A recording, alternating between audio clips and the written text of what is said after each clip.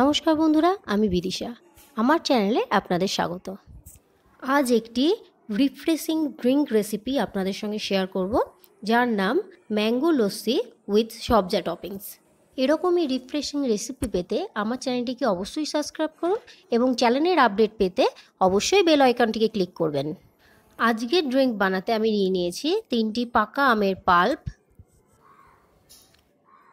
এক কাপ টক দই এটা আমার বাড়িতে পাতা দই।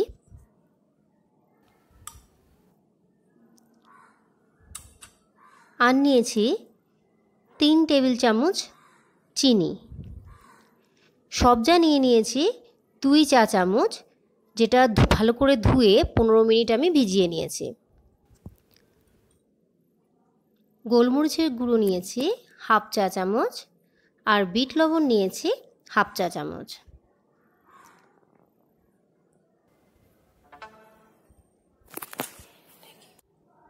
এবার একটা মিক্সির জার নিয়ে নেব। তাতে নিয়ে নেব আম এবং যে পরিমাণ চিনি আমি নিয়েছি তার অর্ধেক চিনি।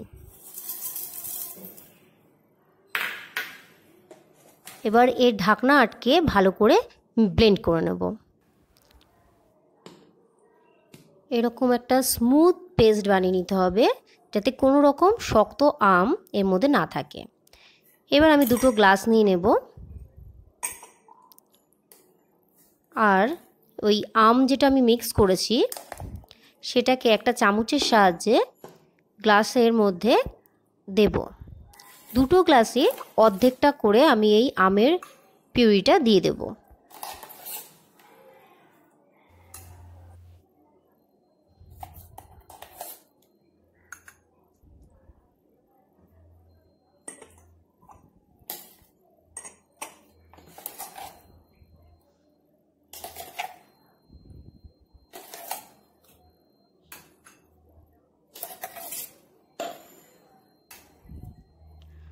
আমার আমটা দেওয়া হয়ে গেছে, ঠিক এইভাবে আর্ধেকটা ভরে নিতে হবে।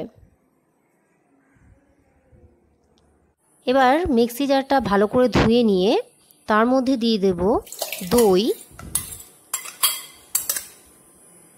আর দেব পাকি চিনিটা, নুন, বিট লবণ আর গোলমরিচ গুঁড়ো। আবার এটাকেও ভালো করে ব্লেন্ড করে নেব।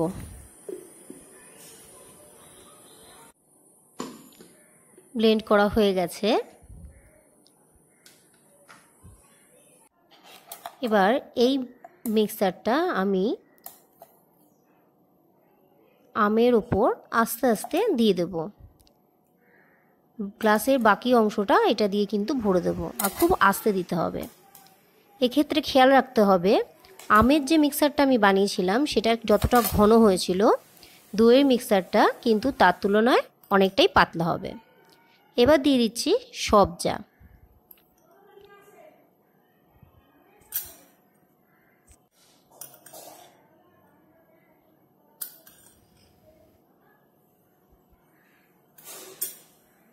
তৈরি হয়ে গেছে mango lassi with sabja toppings.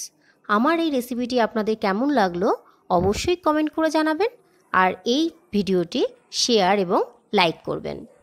আবার চলে আসব নতুন সব মুখরোচক রেসিপি নিয়ে ভালো থাকবেন সুস্থ থাকবেন। ধন্যবাদ।